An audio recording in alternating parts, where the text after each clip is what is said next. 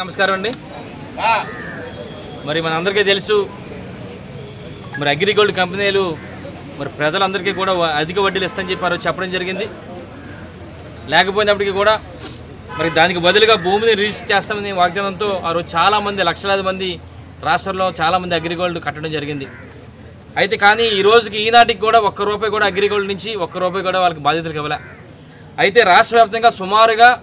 పదకొండు లక్షల యాభై వేల మంది ఈ బాధితులు ఉన్నారు రాష్ట్ర వ్యాప్తంగా.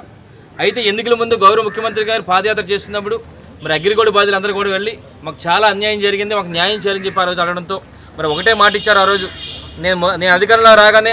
మీ అందరి తాలూకా అగ్రిగోల్డ్ బాధితులు ఎవరైతే ఉన్నారో వాళ్ళందరూ కూడా న్యాయం చేస్తానని చెప్పి ఆ రోజు మాట ఇవ్వడం జరిగింది. మరి ఏదైతే మాట ఇచ్చారో ఆ హామీ ప్రకారం మరి పదకొండు వందల యాభై కోట్ల రూపాయలు అసెంబ్లీలో మరి ముఖ్యమంత్రి అయిన తర్వాత అసెంబ్లీలో పదకొండు వందల యాభై రూ యాభై కోట్ల రూపాయలు మరి అనౌన్స్ చేయడమే కాకుండా క్యాబినెట్లో కూడా తీర్మానం చేసిన ఘనత గౌరవ ముఖ్యమంత్రి గారని చెప్పి సందర్భంగా అందరికీ కూడా తెలియపరుస్తూ అలాగే ముఖ్యంగా ఈరోజు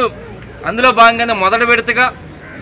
పదివేల రూపాయలు ఎవరైతే డిపాజిట్ చేశారో అగ్రిగోల్డ్ బాధితులు వాళ్ళందరికీ కూడా సుమారుగా రెండు వందల అరవై ఐదు కోట్ల రూపాయలను ఈ రోజు విడుదల చేసినందుకు గాను గౌరవ ముఖ్యమంత్రి గారికి ఈ నర్సిపట్నం నియోజకవర్గ మరి శాసనసభ్యుడిగా అగ్రిగోల్డ్ బాధితులు అందరి తరపున వారికి నా ప్రత్యేక ధన్యవాదాలు తెలుపుకుంటూ మరి మరిన్నో కార్యక్రమాలు చేయాలని చెప్పి సందర్భంగా కోరుకుంటూ మన గౌరవ ముఖ్యమంత్రి గారికి మీ అందరూ కూడా అండగా తోడుగా ఉంటూ మరి రాబోయే రోజుల్లో మరి రాష్ట్రాన్ని అభివృద్ధి పదంలో నడిపించే విధంగా మీ అందరూ కూడా కష్టపడి పనిచేస్తామని చెప్పి మీ ద్వారా తెలియపరుస్తూ అందరికీ నమస్కారం తెలుపుకుంటూ జై జగన్